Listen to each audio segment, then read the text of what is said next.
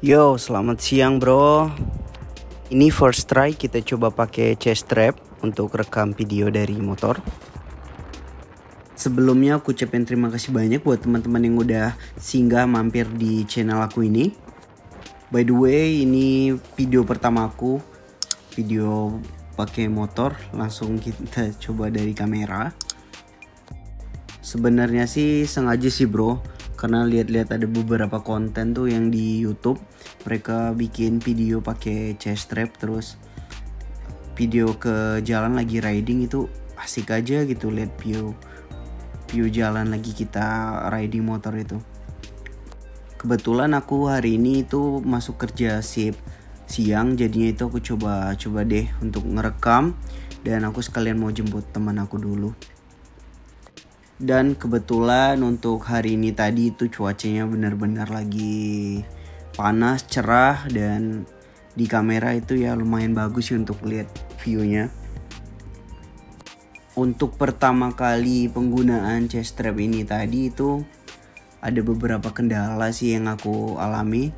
Kayak kalau kita riding di speed kayak 70 ke atas gitu itu dia masih kena angin dan langsung turun ke bawah itu mungkin bagi teman-teman yang sebelumnya ngevlog video vlogger kalau ada tips and trick itu kenapa chest strapnya apakah kurang kuat di kaitan yang karetnya ya. Jadi kadang kalau ngerekam itu masih dia suka turun ke bawah gitu.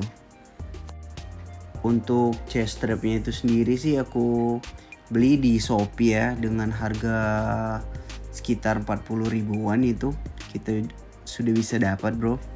Kalau untuk motovlogger motovlogger itu kan yang udah proper tuh mereka pakai action cam kan.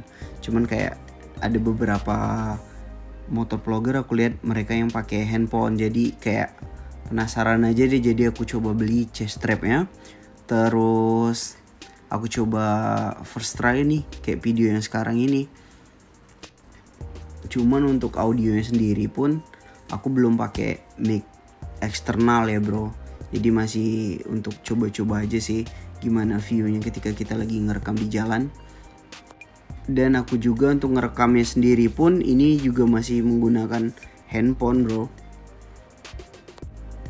Jadi untuk teman-teman kalau nanti kira-kira mau coba tuh beli chest strap juga nanti linknya aku taruh di deskripsi.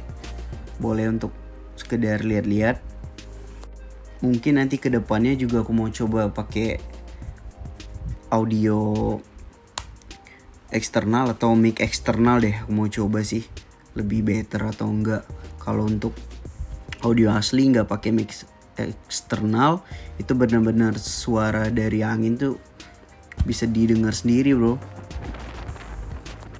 Mungkin bagi teman-teman yang ada saran boleh deh kasih tips dan triknya untuk kita yang pemula-pemula mau pengen-pengen bikin video ala-ala motor vlogger gini ya.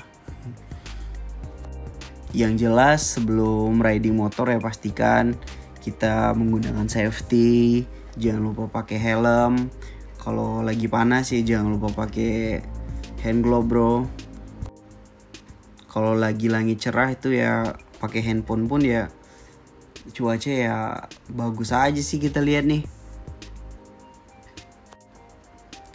Dan bagi teman-teman yang baru singgah di channel aku, yuk jangan lupa bantu subscribe untuk aku coba lagi lebih baik bikin video.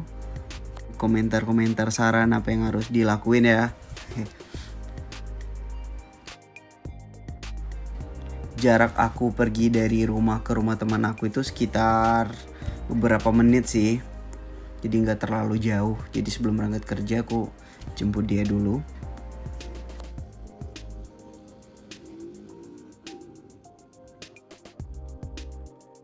Sekian dulu video dari aku hari ini. Thanks for watching. Jangan lupa subscribe. Keep riding and side bro. And see you soon.